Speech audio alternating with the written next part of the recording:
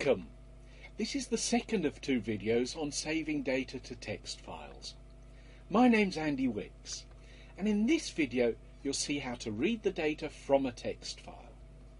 There are two ways of storing the data and we saw that in the previous video. You can either save it all on one line or having each item of data on separate lines. So let's now have a look at this in action. This was the first program in the first video and it asks you to enter your name. So my name is Andy Wicks and it asks for your age, 23, and it asks for my height.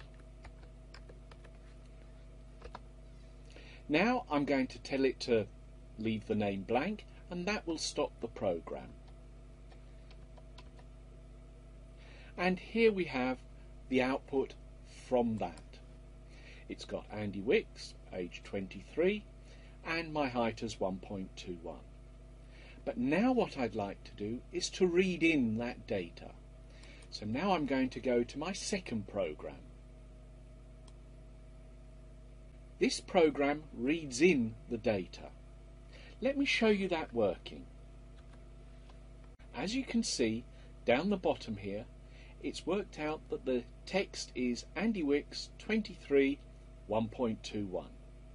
It looks as if all it's done is read the whole line, but as you'll see when we get into the program, it's actually been a little cleverer than that. So let's go back to the program. First of all, I need my inputs. I need a buffered reader input and I need a file reader. Buffered reader is just where the data is stored temporarily the file reader is the thing that actually goes and connects to that file that we created. And as usual when handling files, we need the IO exception. So here is the code. What I'm going to do in main is first of all create the variables I need. In the previous program everything was stored as a string because text files only save strings. I'm going to set the name to be blank, but now I'm going to have the integer age and double height. And I'm going to set all those up to be empty to start with. Now we come to the try catch. When handling files, always use try catch. So we're going to create a buffered reader called BR, and that's going to be a new buffered reader that's going to read in the file that it finds at nameageheight.txt. I'm then going to create a string called line and the content of that will be null. Now we come into the loop.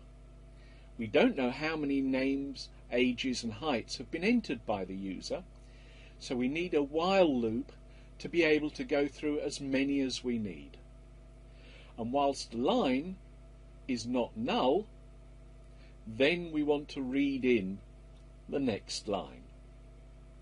So the line of text is read into the variable called line. And as long as that is not null, we keep going. So the first item of data was read in, and that has now been put into a string array called temp. Temp is just an array of lots of different strings and it's created from line by using the tab character as the delimiter. So every time it meets a tab character it creates a new temp. Now we're going to use the first item in temp, the zeroth item, and put that in name. Next, we're going to get the second item of data, which is number one, and put that into age after we've turned it into an integer using parse int. Next, we're going to get the third item of data. Remember, arrays always start at zero. We're going to get the third item of data, read that in, turn it into a double, and put its value into height. And finally, to show that we've actually got these in and it's worked, we're just going to output them to the system.out and we're going to separate those with the tab characters again. Now you could say, well, that's a bit of a waste. We've read it in, got rid of the tab characters, and now we're putting it out again with tab characters in. What we've done is we've read in that row of data, changed all its formats, and this system out.println could actually be some code that does some awfully complicated things, the sort of complicated things that you would want to be able to do. So here we have a program that reads in a whole line of data, turns it into the correct types, and outputs it. But what happens if the programmer has decided to have each item of data on a separate line? How does that change our program? And for that, first of all, we need to create our data. So this is the second program that we looked at. And in this program, the data is all saved on separate lines. Let's make this run. And it asks for my name. My name is still Andy Wicks. I'm still only 23 years old. My height is 1.31. Whoops. 1.31 and the person sitting next to me watching the video of course is the Queen. She usually sits on my right hand side and tries to take in everything we do.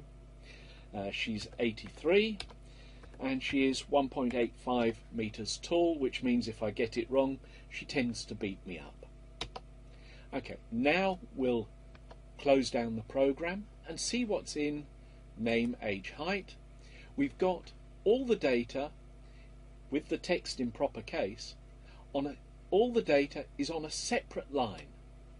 So now let's go to the second version of our reading in program.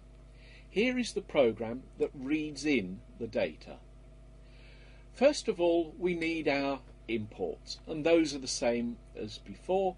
We need a buffered reader, a file reader, and an I.O. exception.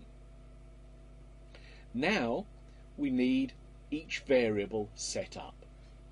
So string name is going to be blank, integer age is going to be 0, and height will be a double which has 0.0 in it. Now we're going to read in the data in a try-catch. When using files, I don't know if I mentioned this, but when using files, always use try-catch. So we're going to have a buffered reader, BR, that will create a new file reader from the file it finds at name age height.txt. Now comes the clever bit. We create a loop which will keep going round all the time that name is not empty.